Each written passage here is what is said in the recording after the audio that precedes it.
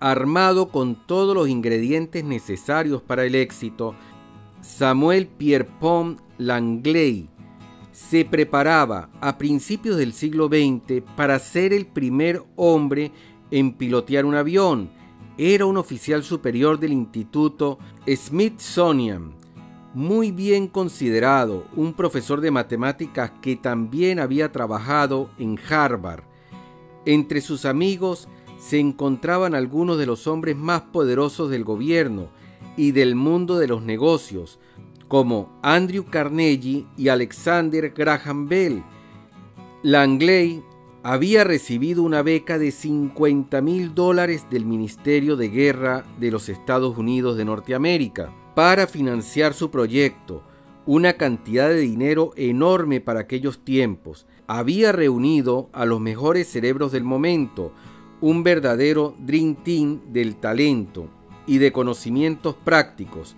Langley y su equipo habían utilizado materiales de la mejor calidad y la prensa los seguían a todas partes.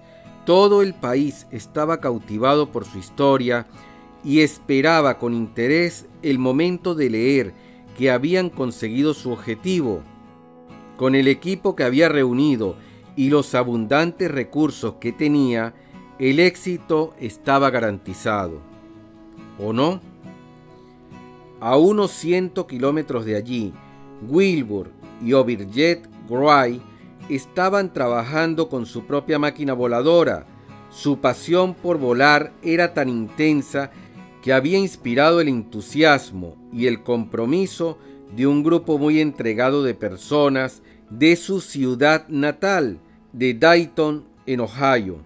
No tenían financiación para su aventura, ni becas del gobierno, ni conexiones con las altas esferas, nadie de su equipo tenía una licenciatura o una diplomatura, ni siquiera Wilbur o Overlet, pero el equipo había formado una piña con una humilde tienda de bicicletas y acabaron convirtiendo su visión en una realidad. El 17 de diciembre de 1903, por primera vez en la historia, un pequeño grupo de espectadores fue testigo de cómo un hombre levantaba el vuelo, cómo llegaron a triunfar los hermanos Wright cuando un equipo con más medios, más dinero y con un nivel de educación más elevado no pudo conseguirlo.